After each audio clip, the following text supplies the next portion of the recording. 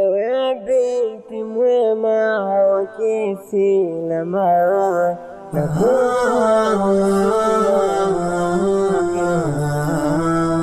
ewe dada yangu wa Kiislamu, nakupa wasia nisikize vyema, jipambe tabia za Kiislamu.